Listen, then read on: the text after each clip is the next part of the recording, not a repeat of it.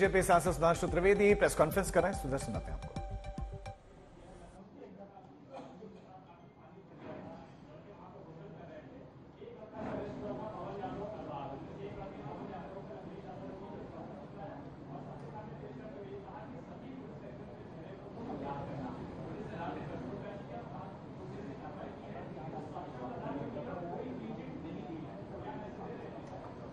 देखिए इस विषय पे जब माननीय मुख्यमंत्री सदन के पटल में बोल चुके हैं तो मुझे लगता है उसके बाद किसी प्रकार के अन्य बयान की आवश्यकता है।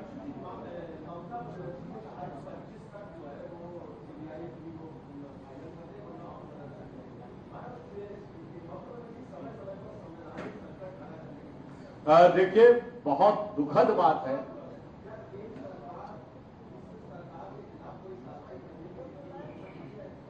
देखिए, बहुत दुखद बात है कि सीबीआई को केस रिकमेंड करने के लिए उन्हें सिर्फ़ सत्तर सेकेंड चाहिए थे, यानी कागज़ पे दस्तखत करना। उसमें तो कह रही थी सात दिन का समय चाहिए।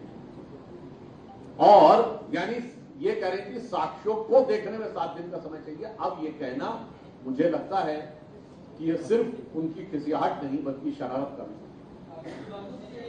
और मैं ये भी कहना चाहूँगा कि ममता बनर्जी जी वही है जिन्होंने 2021 के चुनाव में उत्तर प्रदेश के लोगों के बारे में एक अपमानजनक प्रकार की टिप्पणी करते हुए कहा था, ये सब यूपी का गुंडा लोग यहाँ आकर चला जा रहा है। आपको याद होगा 2021 के बंगाल विधानसभा चुनाव।